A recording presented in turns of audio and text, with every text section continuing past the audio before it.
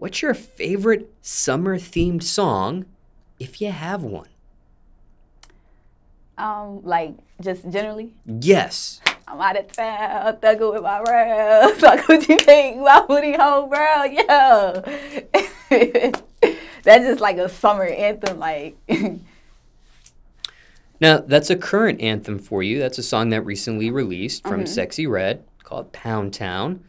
But what's the best summer anthem of all time, in your opinion? Um, I would have to go with Glorilla. I'm F R E E fuck nigga free because everybody tend to be fuck nigga free when the summer come around. So like, that's a good summer anthem. Now speaking of the summertime, July Fourth is around the corner. Mm-hmm. Do you have a July Fourth horror story? July Fourth horror story. A bad experience. I actually do. So I was in New York and I was a kid so I'm just sleeping on the couch.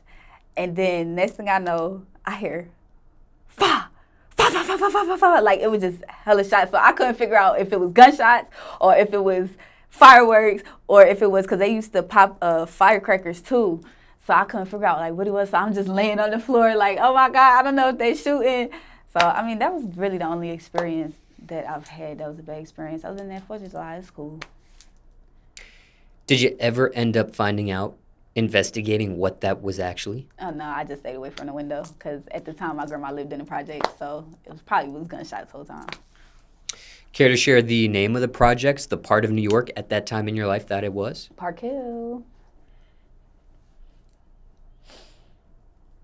Anything else you want to mention in regards to July 4th or question you weren't asked? People um, want to know about that holiday me personally, July 4th, it kind of like scares me sometimes because like everybody be wanting to just like shoot their guns on 4th of July. So like, say if you like going out or something, like I just be extra, extra careful because like it'd be big crowds and I kind of be like around big crowds. It really makes me nervous. Like I be getting like, ugh. so I just be real cautious when I be going out for 4th of July because you just never know. Like sometimes you'll think it's a firework, whole time it's a gunshot. So I just be getting confused.